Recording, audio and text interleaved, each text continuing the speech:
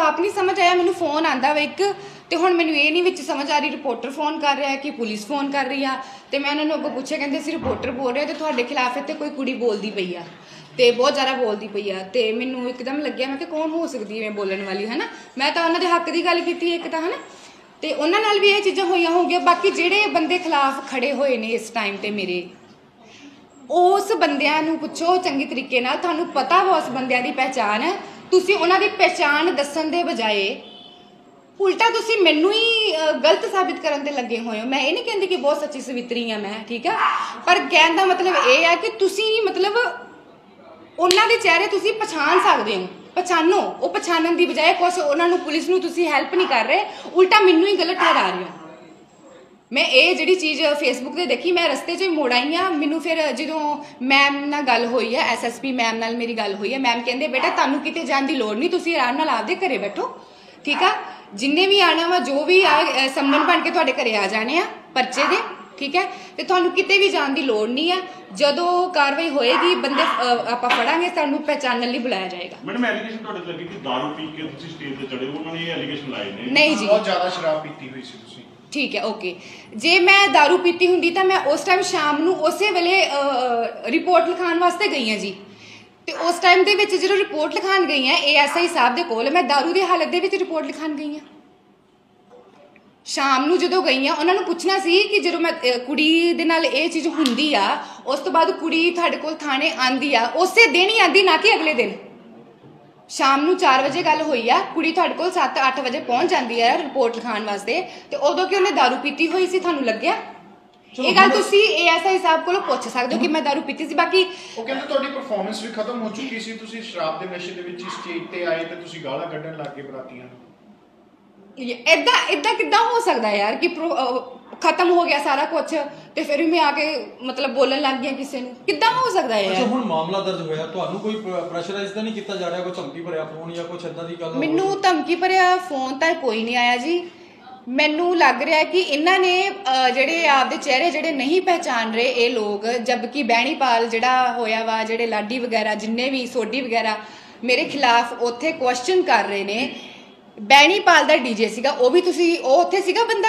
ਹਾਂਜੀ ਹਾਂਜੀ ਠੀਕ ਹੈ ਨਾ ਤੇ ਉਹ ਬਹਿਣੀਪਾਲ ਨੂੰ ਤੁਸੀਂ ਇੱਕ ਕੁਐਸਚਨ ਕਰਨਾ ਸੀਗਾ ਕਿ ਜਿਹੜੀ ਤੁਹਾਡੀ ਪਾਰਟੀ ਆਈ ਸੀ ਉਹਦੇ ਵਿੱਚ ਉਹ ਮੁੰਡੇ ਸੀ ਉਹਦੇ ਵਿੱਚ ਜਿਹੜਾ ਦੁੱਲਾ ਦੁਲਹਨ ਸੀ ਤੁਸੀਂ ਆਬਵੀਅਸਲੀ ਉਹਨਾਂ ਨੂੰ ਜਾਣਦੇ ਹੋਵੋਗੇ ਤੁਸੀਂ ਪੁਲਿਸ ਦੀ ਇਹ ਹੈਲਪ ਕਿਉਂ ਨਹੀਂ ਕਰ ਰਹੇ ਬਾਕੀ ਤਾਂ ਸਾਰਿਆਂ ਨੇ ਵੀਡੀਓ ਦੇਖੀ ਹੈ ਚਲੋ ਮੈਂ ਅਹ, ਵੈਸੇ ਤਾਂ दारू ਪੀਤੀ ਨਹੀਂ ਹੋਈ ਸੀ ਜਾਂ ਕੁਛ ਵੀ ਚਲੋ ਠੀਕ ਹੈ ਮੈਂ दारू ਪੀਤੀ ਵੀ ਹੁੰਦੀ ਤੇ ਜਿਹੜੀ ਚੀਜ਼ ਸਾਹਮਣੇ ਆਈ ਹੋਈ ਆ ਸਾਫ਼ ਦੇ ਸਾਹਮਣੇ ਆਈ ਹੋਈ ਆ। ਉਹਨੇ ਮੇਰੇ ਨਾਲ ਬਦਸਲੂਕੀ ਕੀਤੀ ਕਿ ਨਹੀਂ ਕੀਤੀ? ਜਦੋਂ ਉਹਨੇ ਮੈਨੂੰ ਕੁਛ ਕਿਹਾ ਕਿ ਤੇਰੀ ਭੈਣ ਦੀ, ਤੇ ਮੈਂ ਕਿਹਾ ਕਿ ਉਹ ਤੇਰੀ ਭੈਣ ਦੀ ਨਹੀਂ ਹੈਗੀ, ਤੁਸੀਂ ਸੁਣਿਆ ਹੋਣਾ, ਮੈਂ ਵੀਡੀਓ 'ਚ ਇਹ ਗੱਲ ਕਹੀ ਆ। ਉਸ ਤੋਂ ਬਾਅਦ ਉਹਨੇ ਮੇਰੇ ਗਲਾਸ ਮਾਰਿਆ ਆ, ਤੇ ਉਹ ਤੂੰ ਜਾ ਜਾ। ਮੈਂ ਆਪਦੀ ਡਿਸਰਿਸਪੈਕਟ ਕਰਕੇ ਕੇਸ ਕੀਤਾ ਆ। ਮੇਰਾ ਕੋਈ ਇਹਨਾਂ ਦੇ ਨਾਲ ਆਰਗੇਨਾਈਜ਼ਰਾਂ ਨਾਲ, ਕਿਸੇ ਨਾਲ ਕੋਈ ਬਹਿਸ ਨਹੀਂ ਹੈਗੀ। ਮੇਰੀ ਇਹ ਬਹਿਸ ਹੈ ਕਿ ਜਦੋਂ ਤੁਸੀਂ ਲੈ ਕੇ ਜਾਂਦੇ ਹੋ, ਫਿਰ ਤੁਸੀਂ ਸਿਕਿਉਰਿਟੀ ਵੀ ਦਿਆ ਕਰੋ। ਹੁਣ ਉਹ ਕੁੜੀ ਬੋਲਦੀ ਪਈ ਹੈ ਅਲੀਸ਼ਾ। ਉਹ ਦੋ ਤਿੰਨ ਦਿਨ ਪਹਿਲਾਂ ਹੀ ਜਿਹੜੀ ਕੁੜੀ ਹੁਣ ਮੇਰੇ ਖਿਲਾਫ ਹੋਈ ਹੈ ਕ- ਦੋ ਤਿੰਨ ਦਿਨ ਚ ਹੀ ਉਹ ਬਦਲ ਗਈ ਆ। ਉਹਦੀ ਰਿਕਾਰਡਿੰਗ ਸੁਣਾਨੀ ਆ। ਮੈਂ ਨਾ ਬਹੁਤ ਡਿਪਰੈਸਡ ਹੋ ਗਈ ਸੀਗੀ। ਮੈਡਮ ਇੱਕ ਅਹ, ਲਾਡੀ ਗਿੱਲ ਦਾ ਜਿਵੇਂ ਕਿ ਅੱਜ ਡੀਜੇ ਗਰੁੱਪ ਬੈਨੀਪਾਲ ਵਾਲਾ ਅਹ, ਪੰਜਾਬ ਡੀਜੇ ਗਰੁੱਪ ਦਾ ਪ੍ਰਧਾਨ ਵੀ ਉੱਥੇ ਸੀਗੇ ਆਰਟਿਸਟ ਕਲਾਕਾਰ ਲੜਕੀਆਂ। ਹਾਂਜੀ। ਉਹਨਾਂ ਨੇ ਇਨਸਾਫ ਦੀ ਮੰਗ ਕੀਤੀ ਹੈ ਅਹ, ਸਮਰਾਲਾ ਪੁਲਿਸ ਸਟੇਸ਼ਨ ਦੇ ਅੱਗੇ ਆ ਕੇ। ਹਾਂਜੀ। ਤੇ ਉਹ ਕਹਿੰਦੇ ਕਿ ਤੁਸੀਂ ਗਲਤ ਹੋ ਉਹ ਇਨਸਾਫ ਦੀ ਮੰਗ ਕਰ ਰਹੇ ਨੇ ਹੁਣ। ਅੱਛਾ ਮੈਂ ਗਲਤ ਹਾਂ। ਤੇ ਉਹਦੇ ਵਿੱਚ ਉਹਨਾਂ ਨੂੰ ਇਨਸਾਫ ਕੀ ਚਾਹੀਦਾ? ਹੈ ਉਹਨਾਂ ਨੇ ਇਹ ਮੰਗ ਰੱਖੀ ਕਿ ਸਾਨੂੰ ਇਨਸਾਫ ਦਿਓ ਜਿਸ ਇਹ ਲੜਕੀ ਗਲਤ ਉਹ ਕਹਿੰਦੇ ਬਦਨਾਮੀ ਸਾਰੇ ਗਰੁੱਪਾਂ ਦੀ ਹੋ ਰਹੀ ਹੈ। ਹੈ ਅੱਛਾ ਅੱਛਾ ਬਦਨਾਮੀ ਹੋ ਰਹੀ ਹੈ। ਤੇ ਮਤਲਬ ਜਿਹੜੀ ਵੀਡੀਓ ਦੇਖੀ ਗਈ ਹੈ ਜਿਹੜਾ ਉਹਨੇ ਮੇਰੇ ਗਲਾਸ ਮਾਰਿਆ ਵਾ ਪ੍ਰੈਕਟੀਕਲੀ ਉਹ ਸਹੀ ਸੀਗਾ? ਉਹਨਾਂ ਕੋਲੋਂ ਮੇਰਾ ਇਹ ਇਹ ਸਵਾਲ ਪੁੱਛਿਓ ਜਿਹੜਾ ਪ੍ਰੈਕਟੀਕਲੀ ਉਹਨਾਂ ਨੇ ਮੇਰੇ ਗਲਾਸ ਮਾਰਿਆ ਆ ਉਹ ਸਹੀ ਸੀ ਗਲਤ ਸੀ? ਤੁਸੀਂ ਕੋਈ ਤੁਸੀਂ video ਇਹ ਸਵਾਲ ਉਹਨਾਂ ਨੂੰ ਇੱਕ ਵਾਰੀ ਕਰਿਓ। ਤੁਸੀਂ ਕੋਈ ਦਿਖਾਣ ਲੱਗੇ ਤੇ? ਮੈਂ ਦਿਖਾਣ ਲੱਗੀ ਸੀ ਜਿਹੜੀ ਕੁੜੀ ਅੱਜ ਤੁਸੀਂ ਇਹ ਉਹਨਾਂ ਦੀ ਜਾਣ ਪਹਿਚਾਣ ਅੱਛਾ, ਠੀਕ ਹੈ। ਤੁਸੀਂ ਬੈਣੀਪਾਲ ਨੂੰ ਇੱਕ ਕੁਐਸਚਨ ਹੋਰ ਕਰਨਾ ਵਾ ਨੈਕਸਟ ਟਾਈਮ ਤੇ, ਕਿ ਭਾਈ ਤੁਸੀਂ ਤੁਸੀਂ ਤਾਂ ਬੰਦੇ ਨੂੰ ਜਾਣਦੇ ਹੋ, ਜਿਹਦਾ ਵਿਆਹ ਸੀ, ਤੁਸੀਂ ਇੱਕ ਵਾਰੀ ਦੱਸੋ ਤਾਂ ਸਹੀ ਸਹੀ ਗਲਤ ਤਾਂ ਉਹ ਆਪੇ ਦੱਸ ਦੇਣਗੇ। ਠੀਕ ਆ ਨਾ?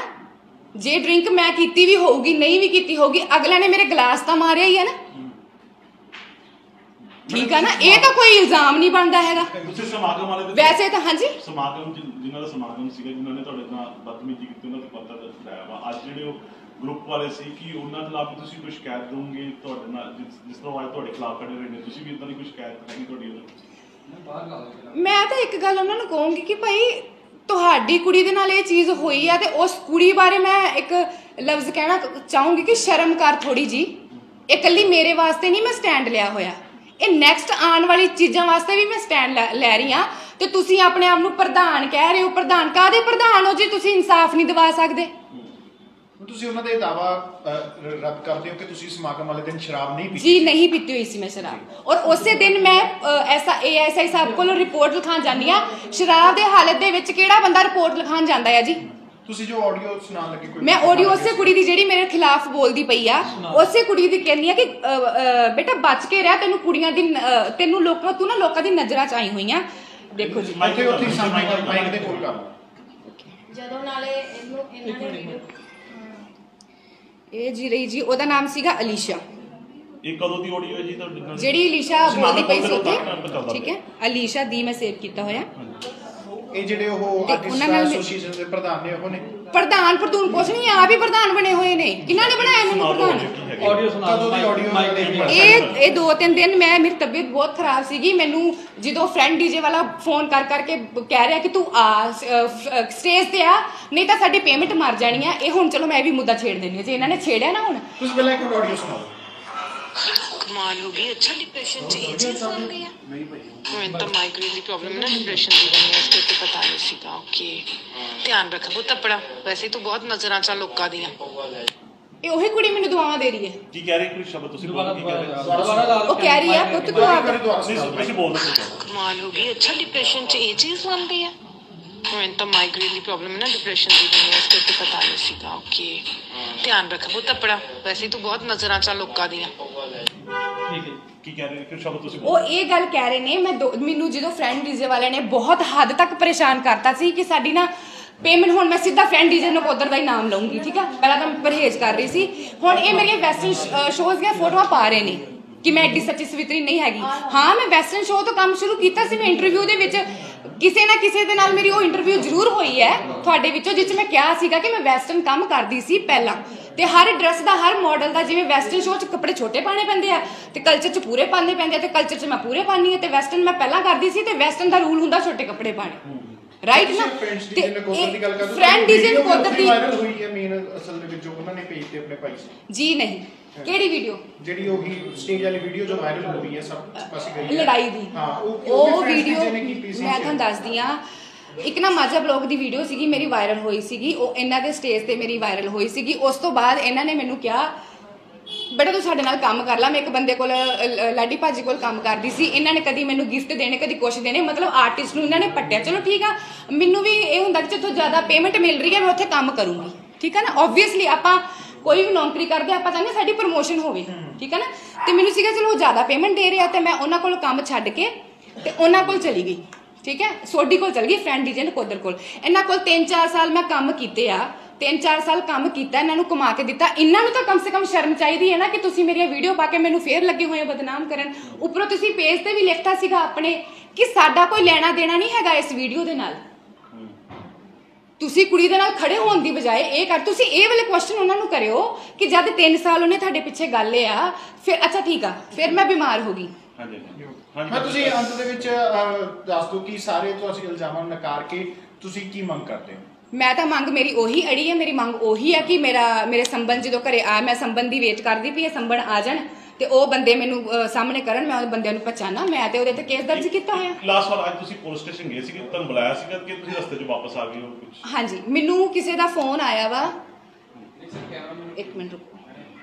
ਮੈਨੂੰ ਕਿਸੇ ਦਾ ਕਾਲ ਆਇਆ ਵਾ ਮੇਗਾ ਮੂਗਾ? ਕਰਕੇ ਪਤਾ ਨਹੀਂ ਕੌਣ ਸੀ ਕਿ ਇੱਥੇ ਤੁਹਾਡੇ ਬਾਰੇ ਕੋਈ ਕੁੜੀ ਬਹੁਤ ਗਲਤ ਬੋਲਦੀ ਪਈ ਆ ਤੇ ਐਦਾਂ ਐਦਾਂ ਕਰਕੇ ਤੇ ਮੈਂ ਕਿਹਾ ਕਿ ਫਿਰ ਅਹੀਂ ਮੈਂ ਹਾਈਪਰ ਹੋ ਗਈ ਮੈਂ ਕਿਹਾ ਚਲ ਮੈਨੂੰ ਜਾਣਾ ਚਾਹੀਦਾ ਹਨਾ ਤੇ ਫਿਰ ਵੀ ਮੇਰੇ ਦਿਮਾਗ 'ਚ ਸੋਚਿਆ ਮੈਂ ਕਿਹਾ ਕਿ ਮੈਂ ਸਾ ਕਿਉਂ ਸਫਾਈਆਂ ਦਿੰਦੀ ਫਿਰਾਂ? ਜਦ ਮੇਰਾ ਸਾਰੀਆਂ ਉੱਪਰ ਦੀ ਉੱਪਰ ਗੱਲਾਂ ਹੋ ਗਈਆਂ ਨੇ ਪਰਚਾ ਦਰਜ ਹੋ ਗਿਆ ਆ ਮੇਰਾ ਇਹਨਾਂ ਨਾਲ ਲੈਣਾ ਦੇਣਾ ਕੀ ਆ? ਚਲੋ ਤੁਸੀਂ ਗਏ ਸੀ ਉੱਥੇ ਠੀਕ ਆ? ਗੱਲ ਤੇ ਹੋਈ ਜੇ ਇਹਨਾਂ ਨੇ ਕੁਐਸਚਨ ਕੀਤੇ ਤੇ ਉਹਨਾਂ ਨੂੰ ਮੇਰਾ ਜਵਾਬ ਦੇ ਦਿਓ ਕਿ ਇਹ ਕੁੜੀ ਕੁੜੀਆਂ ਨੂੰ ਇਹ ਕਹਿ ਦਿਓ ਕਿ ਤੁਹਾਡੇ ਕਰਕੇ ਹੀ ਕਰ ਰਹੀ ਮੈਂ ਠੀਕ ਹੈ ਔਰ ਦੂਜਾ ਬੰਦਿਆਂ ਨੂੰ ਇਹ ਗੱਲ ਕਹਿ ਦਿਓ ਕਿ ਜੇ ਤੁਸੀਂ ਕਮਿਸ਼ਨਾਂ ਖਾਣੀਆਂ ਜਾਣਦੇ ਹੋ ਨਾ ਇੰਨੀਆਂ ਇੰਨੀਆਂ ਮੋਟੀਆਂ ਕੋ 2-2 ਲੱਖ ਰੁਪਏ ਲੈਣੇ ਹੋ ਤੇ ਕੁੜੀਆਂ ਨੂੰ ਝੁੰਗਾ ਝੁੰਗਾ ਵੰਡਦੇ ਹੋ ਤੁਸੀਂ ਉਹ ਕ- ਉਹ ਉਹ ਕੁੜੀਆਂ ਦੇ ਪੈਰਾਂ ਤੋਂ ਕਮਾਈਆਂ ਹੁੰਦੀਆਂ ਵਾ ਜਿਹਦੇ ਖਿਲਾਫ ਤੁਸੀਂ ਅੱਜ ਖੜੇ ਹੋ। ਤੁਸੀਂ ਮੇਰੇ ਵਰਗੀਆਂ ਵਾਪਸ ਕੁੜੀਆਂ ਆਏ। ਦੀਆਂ ਮੇਰੇ ਵਰਗੀਆਂ ਕੁੜੀਆਂ ਤੁਸੀਂ ਦੀਆਂ ਰਸਤੇ 'ਚ ਵਾਪਸ ਆਏ ਹੋ? ਮੈਂ ਰਸਤੇ 'ਚ ਵਾਪਸ ਆ ਗਈ ਸੀ। ਇੱਕ ਉਹਨਾਂ ਦਾ ਲਾਸਟ ਇੱਕ ਐਲੀਗੇਸ਼ਨ ਇੱਕ ਹੋਰ ਹੈ ਕਿ ਤੁਸੀਂ ਕੱਲ ਕਿਹਾ ਸੀ ਕਿ ਸਾਨੂੰ ਉੱਥੇ ਅਹ, ਜਿਹੜੇ ਚੇਂਜਿੰਗ ਰੂਮ ਨਹੀਂ ਮਿਲਦੇ ਕੱਪੜੇ ਤੁਸੀਂ ਜਿਹੜੀ ਗੱਲ ਹਾਂਜੀ, ਕੀਤੀ ਹਾਂਜੀ, ਹੈ, ਉਹਨਾਂ ਨੇ ਬਿਲਕੁਲ ਨਹੀਂ ਕੀਤਾ ਮਿਲਦੇ। ਕਿ ਇਹ ਸਾਰਾ ਕੰਮ ਤੁਹਾਡਾ ਹੀ ਹੁੰਦਾ ਸਾਡਾ ਕੋਈ ਨਹੀਂ ਹੁੰਦਾ। ਇਹ ਇਹ ਵੀ ਉਹਨਾਂ ਨੇ ਜ਼ਿਕਰ ਕੀਤਾ ਅੱਜ। ਕਿੱਦਾਂ ਕਿੱਦਾਂ ਕਿੱਦਾਂ? ਜਿਹੜੇ ਤੁਸੀਂ ਕਹੇ ਕੱਪੜੇ ਸਾਨੂੰ ਆਪਣੇ ਲੈ ਕੇ ਜਾਣੇ ਪੈਂਦੇ ਨੇ Okay. ਸਾਡਾ ਆਪਣਾ ਹੁੰਦਾ ਜੀ ਜਿਹੜੇ ਤੇ ਚੇਂਜਿੰਗ ਰੂਮ ਵਗੈਰਾ ਅਸੀਂ ਆਪਣੇ ਲੈ ਕੇ ਜਾਂਦੇ ਹਾਂ, ਆਪਣਾ ਸਟਾਫ ਲੈ ਕੇ ਜਾਂਦੇ ਨਾਲ। ਹਾਂਜੀ। ਉਹ ਕਹਿੰਦੇ ਕਿ ਇਹ ਕੰਮ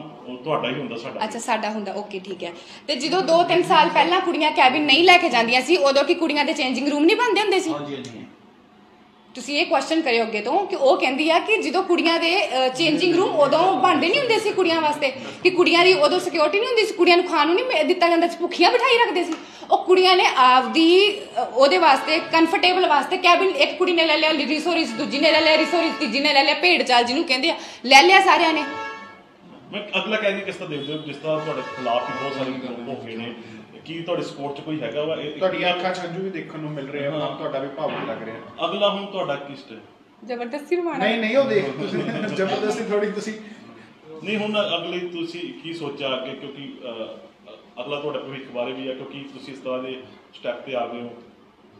ਮੈਂ ਉਸ ਬੰਦੇ ਤੋਂ ਤਾਂ ਦੇਖੋ, ਮੇਰੀ ਪਹਿਲੀ ਗੱਲ ਤਾਂ ਮੇਰੀ ਇਹਨਾਂ ਦੇ ਨਾਲ ਲੈਣਾ ਦੇਣਾ ਹੈ ਹੀ ਨਹੀਂ ਸੀ। ਮੈਂ ਤਾਂ ਸਿਕਿਉਰਿਟੀ ਦੀ ਗੱਲ ਕੀਤੀ ਸੀ, ਉਹ ਤਾਂ ਸਾਰਿਆਂ ਨੇ ਦੇਖਿਆ ਹੀ ਵੀਡੀਓ 'ਚ ਕਿੰਨੀ ਕੁ ਸਿਕਿਉਰਿਟੀ ਸੀ, ਕਿੰਨੀ ਕੁ ਨਹੀਂ ਸੀ, ਠੀਕ ਆ? ਤੇ ਦੂਜੀ ਰਹਿੰਦੀ ਗੱਲ ਇਹ ਆ ਕਿ ਮੈਂ ਉਹਦੇ ਤੇ ਕੇਸ ਕੀਤਾ ਹੋਇਆ ਆ ਤੇ ਮੈਂ ਤਾਂ ਆਪਦੀ ਸੈਲਫ ਰਿਸਪੈਕਟ ਦਾ ਬਦਲਾ ਲੈਣਾ ਮਾਨਹਾਨੀ ਦਾ ਮੈਂ ਪਰਚਾ ਦਰਜ ਕੀਤਾ ਹੋਇਆ ਆ, ਮੈਂ ਸਟੈਂਡ ਲਿੱਤਾ ਹੋਇਆ ਵਾ, ਦਿੱਤਾ ਹੋਇਆ। ਮੈਂ ਮਰਦੀ ਮਰ ਜੂੰਗੀ, ਮੈਂ ਆਪਦਾ ਬਿਆਨ ਨਹੀਂ ਬਦਲਦੀ, ਪੈਸਿਆਂ ਕਰਕੇ ਵੀ, ਬਸ। ਚਲੋ ਥੈਂਕ ਯੂ ਥੈਂਕ ਯੂ